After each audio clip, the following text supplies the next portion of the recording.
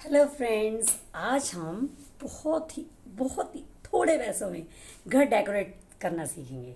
तो आज मैं आपको वॉल हैंगिंग कह लो या पेस्टिंग कह लो, कुछ यूनिक फ्लावर्स और डेकोरेशन का सामान बनाना सिखाऊँगी, ठीक है? लेट गेट स्टार्टेड जादू! तो ये आप बना सकते हो छोटे साइज़ में, बड़े साइज़ में। तो आपने मोस्टली देखा होगा कि ऐसे मेटल्स में भी बने होते हैं। तो हमने ये दस रुपये के चार्ट या ट्वेंटी वाला थिक चार्ट आप लेके इसको बना सकते हैं। चलो बनाना सीखते हैं। Tips for beginners. जैसे ये बड़ा चार्ट था, इनको इक्वली डिवाइड करने के लिए, इक्वली डिवाइड पार्ट में काटने के लिए पहले से हम फोल्ड करते हैं। देन आपको एक सामने क्रीज या एक सिंपल सीधी लाइन दिख जाती है तो आप उसकी हेल्प से सीधे सीधे काट सकते हैं। जिन्हें अभी कैंची चलाने नहीं आती या डरते हैं तो जब एक लाइन बन जाती है तो उस लाइन को फॉलो करते हुए आप उसको दो इक्वल पार्ट में काटोगे। अब इसे हमें फिर से दो इक्वल पार्ट में काटा था मतलब हमें इन्हें फोर पार्ट्स में काटना है। तो चलो करते हैं। फिर देखो जो हाफ़ शीट थी, उसको हमने पहले ऐसे हाफ़ किया देन इसको हमने ऐसे हाफ़ कर दिया। ये हाफ़ है, ये चार्ट के हाफ़ पार्ट का है, हिस्सा है। और फिर उस हाफ़ पार्ट को हमने जब ऐसे फोल्ड किया तो उसे ऐसे कटिंग कर ली। ये देखिए, ये फोर कटिंग्स होगी। पहले हम इतना करेंगे, अब इसको भी कट करेंगे। और फिर हम आगे आपको बताते हैं कैसे ये डेकोरेशन बनेगी जो हमने बनाई है।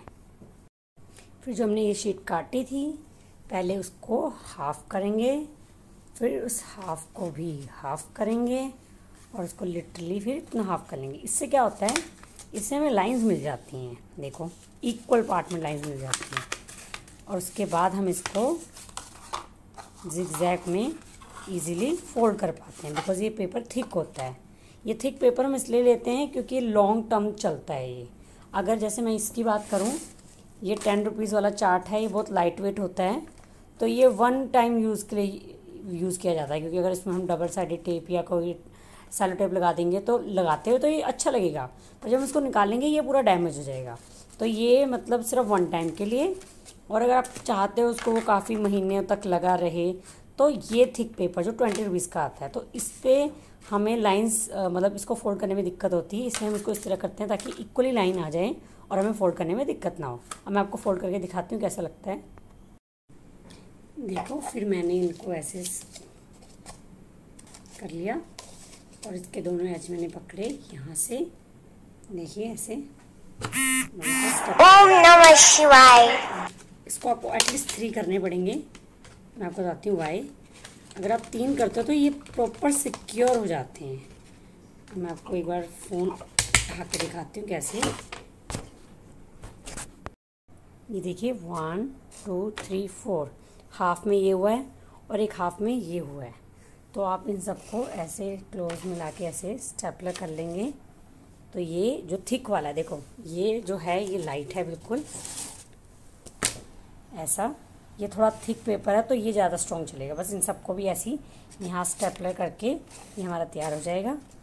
तो लेट्स इट आई होप आपको आज की एक्टिविटी अच्छी लगी हो, क्योंकि देखो टाइम सेविंग है, साथ में इजी टू मेक है और साथ में लो बजट है। इसमें आप क्या कर सकते हो, जैसे कि ये बन गया है, अगर आप इसे व्हाइट पे बनाते हो तो आप किसी भी कलर्स में अपने हार हैंड्स डिप करके ऐसे स्प्रिंकल कर दोगे, इस पर छिड़क दोगे तो भी अच्छा लगेगा। अगर आप कलरफुल मैगजीन पे बनाओगे तो ये और अच्छा लगेगा। तो ये इट्स अप टू यू कि आप कितनी क्रिएटिविटी दिखाते हो। तो आज के लिए इतना ही बहुत है। अगली बार मैं लेकर अलग कुछ लेकर आऊँगी, कुछ न्यू लाइक पेपर कटिंग और समथिंग एल्स तब तक आप मेरा वेट कीजिए। अगली बार फिर मिलेंगे। तब तक के लिए बाय